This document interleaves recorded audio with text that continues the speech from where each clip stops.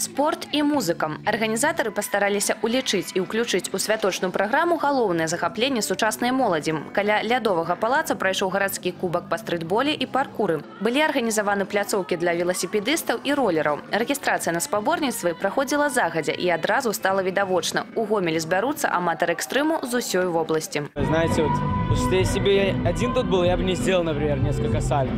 А так, ну вот, меня подбодрили друзья, люди, все прохожие, и я им за это очень сильно благодарен. А для тых, хто любіць экстрым выключна як глядач, увечары мотавыстава ператварылася ў захапляльнае шоу.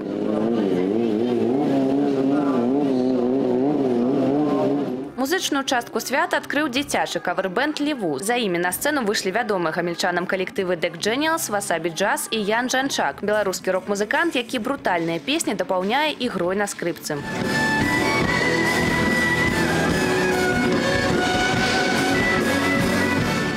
Тым часам каля гомельскага цырка распачаўся іншы музычны паядынак. На бітве дыджэю 12 маладым удзельнікам трэба было зрабіць 20хвілінны open-air. Галоўная умова конкурсу тры беларускія песні, адзіны стыль выступлення і ўменне якасна зводзіць трэкі. З гэтым лепш за ўсіх справіўся Артур Іскандаран, які вядомы як дыджэй Пагасян. Менавіта ён паедзе на рэспубліканскі этап бітвы дыджэю, які пройдзе на славянскім базары. Гомель уже дважды становился победителем битвы диджеев на Славянском базаре. И в Гомеле всегда, наверное, самый большой интерес вот к этому соревнованию диджеев.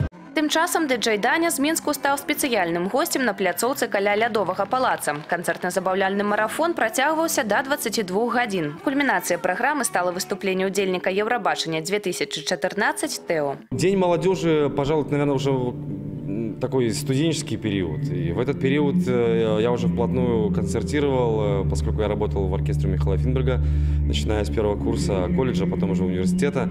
А, Поэтому, собственно, вот эта вот э, молодость, так ее назовем, она прошла в оркестре. И Поэтому мы колесили по всей стране, не только в стране, мы уезжали за рубеж. И, безусловно, День молодежи – это был очередной праздник. Это был очередной праздник, когда ты находишься на сцене и даришь свое настроение людям. Кацярына Сапельнікава, Валерый Гапанько, тэлерадыёкампанія Гомель.